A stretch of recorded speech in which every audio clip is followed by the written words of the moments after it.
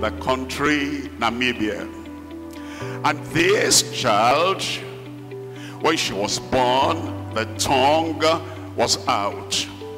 And as the child was growing up, flies will be on the tongue and the child could not pull back the tongue. But while the word of God was going on without our knowing anything at all, the mother was carrying the child. We said, let us pray. And the mother closed her eyes. And then lo and behold, what we said in Jesus' name. And the mother opened the eyes, the tongue had gone in everything was okay.